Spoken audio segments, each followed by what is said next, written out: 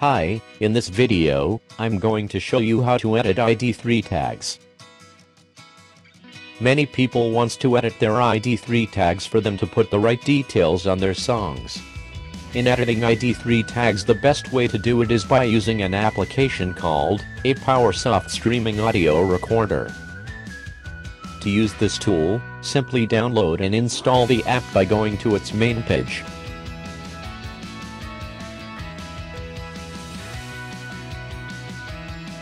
Next, is to launch the tool, click the drop-down menu button and then click ID3 Tags Identifier.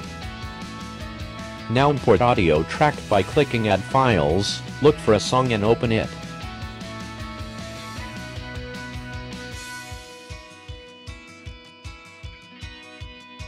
To identify the ID3 automatically click the song and hit Identify. To keep the ID3, click Save.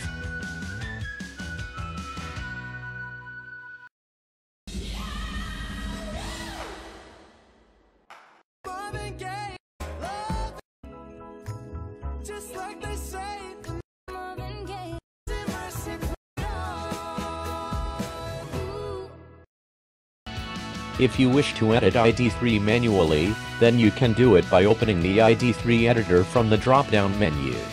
After that, load a file, and then start adding the details that you need.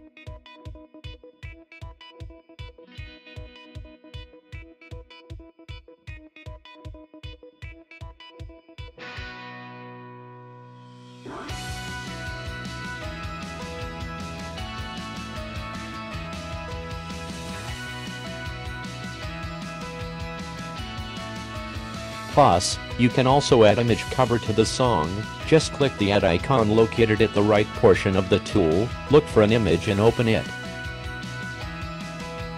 To end the process, click Save to keep the ID3 tags.